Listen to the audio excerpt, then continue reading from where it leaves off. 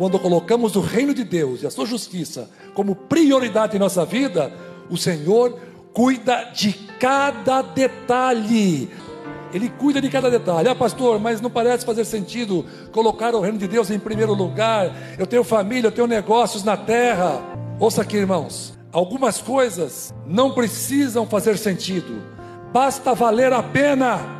Colocar o reino de Deus em primeiro lugar em nossa vida é a excelência de uma vida que vale a pena ser vivida.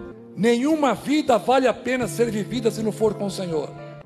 Uma pessoa que nasceu e não nasceu de novo, ela é melhor que não tivesse nascido. Porque somente nascendo de novo, a gente pode entrar no reino de Deus. Que tal, irmãos, começarmos a nos preocupar não só pelo quanto temos de Deus, mas pelo quanto Deus pode ter de cada um de nós. Amém, irmãos? Vamos nos colocar em pé, queridos.